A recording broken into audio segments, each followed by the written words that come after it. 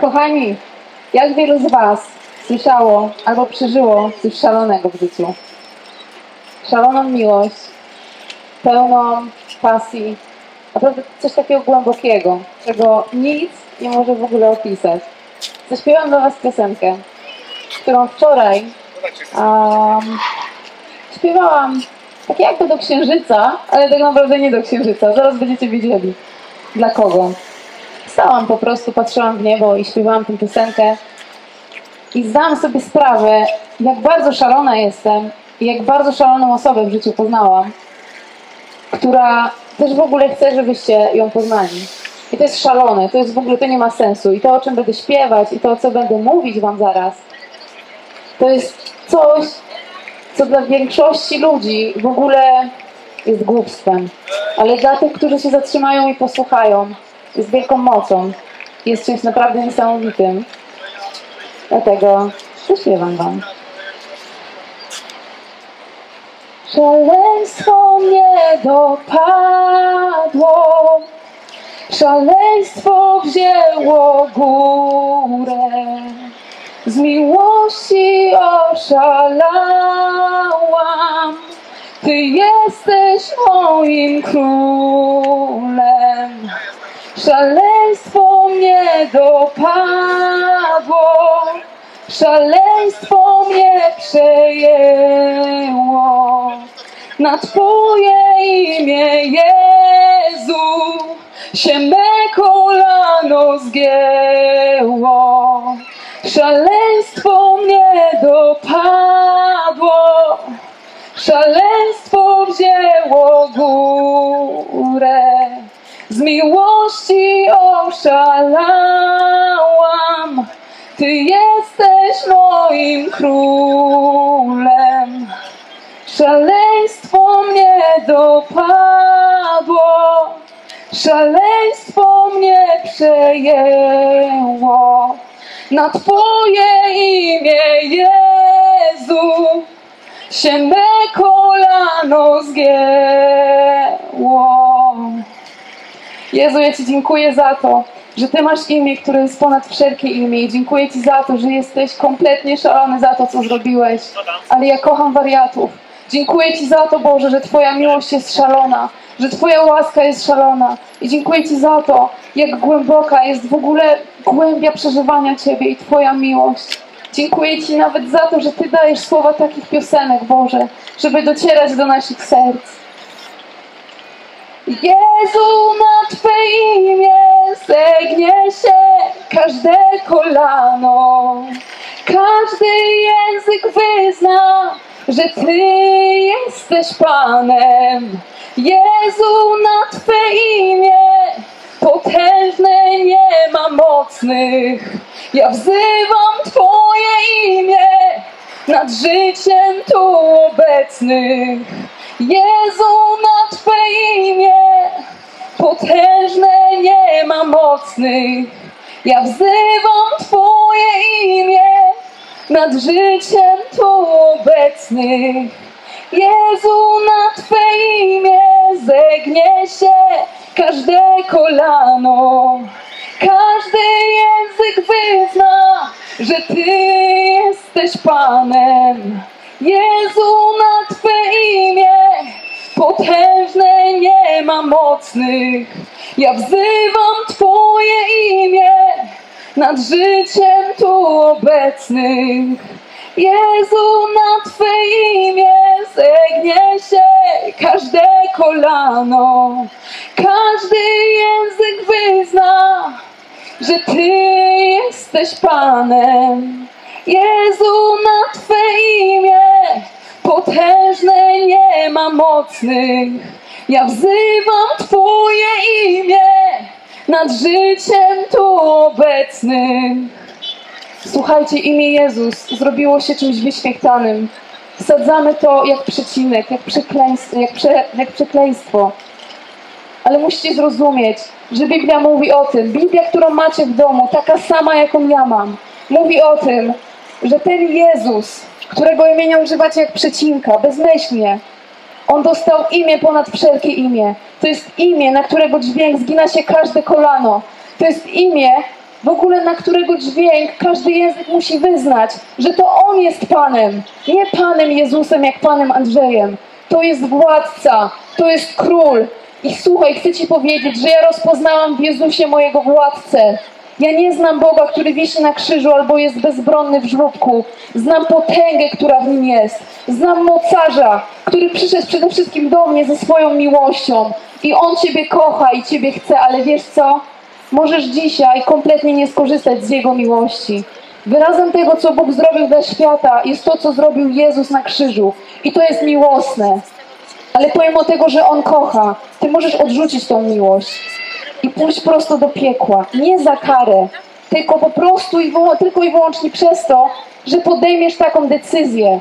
Nie podejmuj takiej decyzji, dlatego że Bóg zrobił wszystko, abyś Ty był wolny. Bóg zrobił wszystko, żebyś Ty nie musiał płacić kary swojego grzechu, żebyś nie musiał nosić chorób na swoim ciele, żebyś nie był przeklęty. Zrozum, Bóg zrobił już wszystko dla Ciebie. I nigdy w ogóle nie zrobi więcej, dlatego że to, co zrobił na krzyżu, starczyło. Teraz musisz chwycić to, co stało się na krzyżu, przytulić to jak swoje i powiedzieć: Boże, chcę Cię poznać. Wszystko, czego Bóg chce, to w ogóle poznania. Twojego poznania Jego. Pomimo tego, że On wie wszystko o Tobie. Zna każdy głos na Twojej głowie. Biblia mówi o tym, że On je policzył. W ogóle widział Cię w łonie Twojej matki, tak? W ogóle On Cię stworzył. Ale Ty Go nie znasz. A moc, która płynie z Boga, to jest właśnie poznanie Go. Dlatego to, co Ci mówię dzisiaj, to nie jakiś kościół, to nie jakaś religia, tylko to, co Ci mówię, to jest poznanie, bo to poznanie niesie moc. Poznałam Jezusa, słuchajcie, poznałam Boga, który uzdrawia dzisiaj tak samo jak kiedyś. Poznałam Boga, który w ogóle dał moc wypędzania demonów. Kładę ręce na chorych i oni są w ogóle uzdrawiani. I to jest Boża moc. To nie jest ze mnie, to jest z Bożej łaski. Każdy, kto uwierzy i swoimi ustami wyzna, że Jezus jest Panem, zostanie zbawiony i dostanie taką samą moc. Zrozum, nie przychodź obojętnie obok Boga, który jest miłosny w Twoim kierunku. Tak jak śpiewałam przed chwilą. Posłuchaj, w ogóle rozumiesz, czym jest miłość? Świat mówi, że miłość to jest przytulenie, chwycenie się za rękę, ale miłość to jest oddanie życia za drugą osobę. I On to zrobił.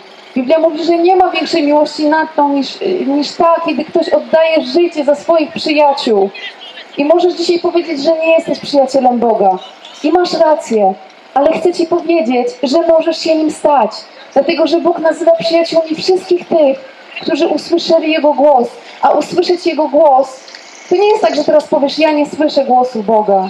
Możesz, jeżeli chcesz. Dzisiaj w swoim pokoju powiedz Boże, chcę usłyszeć Twój głos. Jezu, chcę Ciebie poznać. Jeżeli ona mówi prawdę, to chcę poznać Twoją miłość. I wiesz co? On się nigdy nie spóźnia. Bóg nigdy nie gra w kulki z nami. On się nie bawi w chowanego. On jest całkowicie odsłonięty w tym, co zrobił Jezus dla całej ludzkości. Tutaj nie ma wyjątków. Możesz dzisiaj myśleć, że jesteś w ogóle niewarty albo niegodny, żeby ktoś za ciebie umierał, żeby ci ktoś wybaczył, że może, może to jest, ale może nie dla ciebie. Jak gromie takie kłamstwo w imieniu Jezusa Chrystusa. Posłuchaj, Bóg jest taki sam dla każdego, dlatego że On nie ma względu na osobę. On się nie zmienia. Biblia mówi, On nie jest człowiekiem, żeby miał się zmienić, żeby miał się wahać. Rozumiesz? Człowiek się zmienia, ale Bóg się nigdy nie zmienia. On jest temu zainteresowany od początku do końca. Niezależnie jaka jest Twoja orientacja seksualna, niezależnie jakie masz poglądy na różne sprawy, niezależnie co myślisz w ogóle o czymkolwiek i co zrobiłeś dzisiaj, jutro zrobisz, On po prostu Ciebie chce. I chce, żebyś Go poznał. To jest po Twojej stronie. Chwyć Bożą rękę, poznaj Go, bo możesz. Posłuchaj, treść prostej Ewangelii to to. Jezus Chrystus, jako Bóg, który w ogóle był już przed założeniem świata, przyszedł na tą ziemię, do ciała człowieka, tak? To ciało dostało imię Jezus. I On w tym ciele nie popełnił ani jednego grzechu. Poszedł na krzyż, przebaczył Twoje wszystkie winy, wsiąknął to w siebie. On to wszystko w siebie wsiąknął. wszystkie Twoje choroby, przekleństwo, które Ciebie dotyczyło, po to, żebyś Ty nigdy nie musiał tego doświadczać, a żeby tego całkowicie doświadczyć, tej Bożej miłości i pełni w ogóle wolności od tych wszystkich rzeczy, wystarczy uwierzyć. Kościoły i ludzie mówią nam, że trzeba robić różne rzeczy, a Bóg mówi, trzeba wierzyć. Musisz wierzyć jak szalony. Nieważne, że nie domagasz, nieważne, że ci się niektóre rzeczy nie udają, nieważne, to nie jest ważne. Nie jest ważne to, jaki ty jesteś i kim ty jesteś. Ważne jest to, kim jest Jezus. I ważne jest to, co zrobił już dla ciebie i jak bardzo chce mieć relację z tobą. Pamiętaj, niech ci te słowa brzmią w ogóle przez resztę życia w uszach. Nieważne to, kim ja jestem, ważne, kim jest Jezus. Ważne, kim On, on naprawdę jest. I przede wszystkim, jak już zapamiętałeś te słowa, pamiętaj, że jeszcze musisz Go poznać. Bo skoro ważne, kim On jest, to musisz Go poznać. Powiedz, Boże, jeżeli mogę poznać Ciebie prawdziwego, to decyduję się zapomnieć wszystko, co do tej pory wiedziałem. I chcę się Ciebie nauczyć od nowa. Chcę Ciebie poznać. Chcę poznać tego dobrego Boga, który uzdrawia, wypędza demony, tego Boga, który w ogóle jest dobry, który nie jest twórcą żadnej choroby, tylko właśnie od nich uwolnił na krzyżu cały świat. Chcę Ciebie poznać, Boże. I ja wiem, że dla Was to nie są żarty. Wiem, że o tym myślicie. Można się uśmiechać i głupkować. Ja wiem, że każdy o tym myśli. Bo to jest pytanie, które zadaje sobie cały świat. W każdej religii, na każdym kontynencie każdy pyta, kto jest drogą, co jest drogą, co jest po śmierci. Jest tylko i wyłącznie Jezus i nie ma nic innego. Nie ma wielu dróg do Boga. Jezus jest drogą, prawdą i życiem. Tylko On. I nieważne w jakim jesteś dzisiaj kościele, nieważne, tak jak mówiłam wcześniej, co myślisz o czymkolwiek, to On się liczy. Nie liczysz się Ty, to liczy się w ogóle On. Dlatego przyjdź do Niego. Przyjdź do Niego sercem. Nie musisz nic robić oprócz tego, żeby w ogóle otworzyć swoje serce na Niego.